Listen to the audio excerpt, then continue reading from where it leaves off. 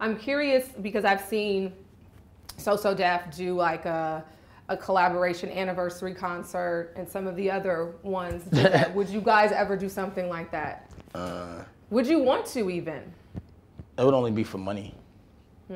Only for the right price. Not for the fans?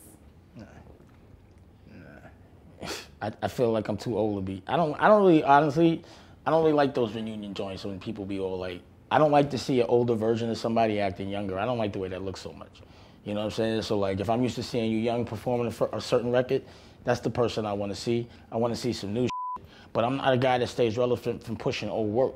You know what I'm saying? And there's a lot of bad memories that come with that. Shit. You know what I mean? There's good memories, but again, I'm not really here for people's entertainment. I'm here for people who evolve. You know, the I was preaching before isn't, isn't exactly what I'm feeling now. And the thing is, I was in my 20s. I'm not supposed to be feeling the same thing I was feeling when I was 20, now that I'm 49. So I don't feel like acting like I'm 20 at 49. I stopped that for a reason. Like, I didn't get kicked out the music business. I left it to go make a television network. Yeah. So it's like saying, yo, you feel like doing a high school reunion? I gotta be in the mood or for the right bread. You know what I'm saying? Like I love, I definitely love everybody in my high school. I wish I could see them, but you know, I didn't quite love everyone and the way they dealt with things uh, in my in my past, to the extent that I just put it in my rear view and have moved forward. And that's the reason why I'm not selling so much old work Yeah. or pretending I'm cool with people that I'm not. You know what I mean? To sell old work, I don't do that.